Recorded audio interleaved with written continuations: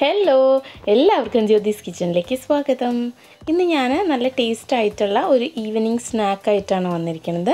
നല്ല ടേസ്റ്റാണ് അതുപോലെ തന്നെ ഉണ്ടാക്കാനായിട്ട് നല്ല എളുപ്പമാണ് കുറച്ച് അവിലും അതുപോലെ തന്നെ പഴം ഉണ്ടെങ്കിൽ നമുക്ക് എളുപ്പത്തിൽ വീട്ടിൽ ഉണ്ടാക്കിയെടുക്കാം ഒരു ഹെൽത്തി സ്നാക്കും കൂടിയാണ്. അപ്പോൾ ഇതെങ്ങനെ ഉണ്ടാക്കാൻ നോക്കാം? അതിന് മുമ്പായിട്ട് ആദ്യമായിട്ട് ആരെങ്കിലും ചാനൽ കാണുന്നുണ്ടെന്നുണ്ടെങ്കിൽ ഒന്ന് സബ്സ്ക്രൈബ് ചെയ്യാനായിട്ട് മറക്കരുത് കേട്ടോ. ആദ്യം തന്നെ ഒരു ബൗളിലേക്ക് ഒരു കപ്പ് മൈദയാണ് എടുത്തിരിക്കുന്നത്. അപ്പോൾ ഒരു കപ്പ് മൈദ ഇട്ട് കൊടുത്തിട്ടുണ്ട്. ഇനി ഇതിലേക്ക് ഒരു കാൽ ടീസ്പൂൺ ബേക്കിംഗ് സോഡ ഇട്ട് കൊടുക്കുക. ആവശ്യത്തിനുള്ള ഉപ്പും കൂടി ഇട്ട് കൊടുക്കുക. ഇനി നല്ലോണം ഒന്ന് മിക്സ് ചെയ്തെടുക്കാം മിക്സ് ചെയ്തതിന് ശേഷം ആവശ്യത്തിന് വെള്ളം ഒഴിച്ചിട്ട് നമ്മൾ ഒരു ഒരു കട്ടിയുള്ള ഒരുപാട് കട്ടിയാവരുത് ഒരുപാട് ലൂസും ആവരുത്. ആ ഒരു രീതിയിൽ നമ്മൾ മിക്സ് ചെയ്തെടുക്കണം. അപ്പോൾ ഒരു ദോശമാവിന്റെയൊക്കെ ഒരു പരുവത്തിലാക്കിയിട്ട് എടുക്കുക. ഇനി ഞാനിതിലേക്ക് ഒരു ടേബിൾ സ്പൂൺ അരിപ്പൊടിയാണ് ചേർത്ത് കൊടുക്കുന്നത് അപ്പോൾ അതും കൂടി ചേർത്താലാണ് ക്രിസ്പി ആയിട്ട് വരിക. അപ്പോൾ അതിന് വേണ്ടിയിട്ട് അരിപ്പൊടിയും കൂടെ ചേർത്ത് കൊടുത്തിട്ടുണ്ട്. ഇനി ഈ ഒരു മൈദ മാവിന് പകരം നമുക്ക് ദോശമാവ് എടുക്കാം. ദോശമാവിൽ ഇതേപോലെ തന്നെ ഒരു ടീസ്പൂൺ ഒരു ടേബിൾ സ്പൂൺ അരിപ്പൊടിയും കൂടെ ചേർത്ത് കൊടുത്തിട്ട് നമുക്ക് മിക്സ് ചെയ്തെടുക്കാവുന്നതാണ്. ഇനി ഒരു പാൻ ചൂടാക്കിയിട്ട് അതിലേക്ക് രണ്ട് ടേബിൾ സ്പൂൺ നെയ്യും അതുപോലെ തന്നെ നേന്ത്രപ്പഴം. നല്ല അത്യാവശ്യം കട്ടിയുള്ള വലിയ നേന്ത്രപ്പഴമാണ്. ഞാൻ രണ്ടെണ്ണമാണ് എടുത്തിരിക്കുന്നത്. ചെറുതാണെന്നുണ്ടെങ്കിൽ ഒരു മൂന്നെണ്ണമൊക്കെ എടുക്കാം.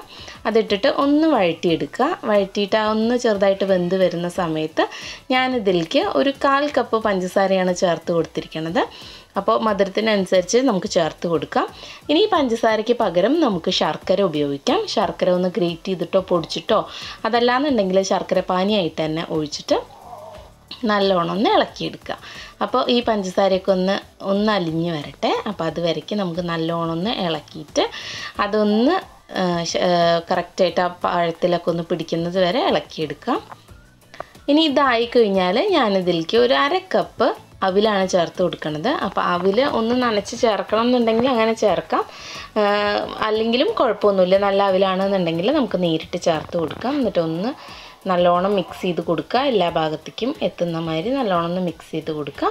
ഇനി ഇതിലേക്ക് ഒരു മുക്കാൽ കപ്പ് നാളികേരമാണ് ചേർക്കണത്. അപ്പോൾ നാളികേരം കൂടുതലുണ്ടെന്നുണ്ടെങ്കിൽ ടേസ്റ്റ് കൂടും. അപ്പോൾ അതനുസരിച്ചിട്ട് നാളികേരം ചേർത്ത് കൊടുക്കുക. ഇനി നല്ലോണം മിക്സ് ചെയ്തിട്ട് നല്ലോണം ആ നാളികേരത്തിന്റെ അതൊക്കെ ഒന്ന് എല്ലാത്തിലും പിടിച്ച് ആ പഞ്ചസാരയൊക്കെ നാളികേരത്തിൽ പിടിക്കുന്നത് വരെ നമുക്ക് നല്ലോണം ഒന്ന് ഇളക്കിയെടുക്കാം. അപ്പോൾ ആ നാളികേരത്തിന്റെ ആ ഒരു വെള്ളമയമൊക്കെ അവിലേക്ക് പിടിച്ചിട്ട് അവിലൊന്ന് കുതിർന്ന് വരട്ടെ. അതുവരെ നമുക്ക് നല്ലോണം ഇളക്കി കൊടുക്കാം. അപ്പോൾ ഏറ്റവും ലോ ഫ്ലെയിമിൽ ഇടണം. അപ്പോഴാണ് കറക്റ്റായിട്ട് ആവുക. ഇനി ഞാനിതിലേക്ക് ഒരു അര കപ്പ് വെള്ളം കൂടി ഒഴിച്ചു കൊടുക്കുന്നുണ്ട്. അപ്പോൾ ചൂടുവെള്ളം ഒഴിച്ചു കൊടുക്കുക. അപ്പോൾ അവിലൊക്കെ പെട്ടെന്ന് പിടിച്ചിട്ട് നല്ലോണം ഒന്ന് കുതിർന്ന് വരും. അപ്പോൾ ഫ്ലെയിം കൂട്ടി വെച്ചാൽ വെള്ളം വേഗം വറ്റിപ്പോവും പക്ഷേ അവിൽ നനയില്ല. അപ്പോൾ നമ്മൾ ഏറ്റവും ലോ ഫ്ലെയിമിൽ ഇട്ടിട്ട് വേണം ഇതൊക്കെ ചെയ്യാനായിട്ട്. വേണമെന്നുണ്ടെങ്കിൽ ഒരു രണ്ട് മിനിറ്റ് നമുക്ക് അടച്ച് വെക്കാം. അപ്പോൾ അവിലൊക്കെ ഒന്ന് വെന്ത് വന്നാൽ വെള്ളം തീരെ ഇല്ലാത്ത രീതിയിലാകുമ്പോൾ നമുക്ക് തീ ഓഫ് ചെയ്ത് കൊടുക്കാം. ഇനി ഞാൻ എണ്ണ ചൂടാവാനായിട്ട് വെച്ചിട്ടുണ്ട്. നമ്മൾ ഉണ്ടാക്കിയിട്ടുള്ള അവിൽ ഇതുപോലെ ബോളാക്കി എടുത്തിട്ടുണ്ട്. അപ്പോൾ വെള്ളം ഇല്ലയെന്നുണ്ടെങ്കിലാണ് ഇതേപോലെ കറക്റ്റായിട്ട് നമുക്ക് ഉണ്ട ഉരുട്ടാനായിട്ട് പറ്റുള്ളൂ. ഇനി മൈദമാവിൽ ഒന്ന് മുക്കിയിട്ട് നമുക്ക് വറുത്തെടുക്കാം. അപ്പോൾ ഒരു മീഡിയം ഫ്ലെയിമിൽ ഇട്ടിട്ട് വറുത്തെടുക്കാം. അപ്പോൾ ഈ മൈദയൊക്കെ മൈദയിൽ അരിപ്പൊടി ചേർത്തിട്ടുള്ളത് കൊണ്ട് തന്നെ നല്ല ക്രിസ്പി ആയിട്ട് വരും. നല്ല ടേസ്റ്റാണ് ഇനി ഞാൻ പറഞ്ഞ പോലെ തന്നെ മൈദയ്ക്ക് പകരമായിട്ട് നമ്മുടെ ദോശമാവ് എടുക്കാം.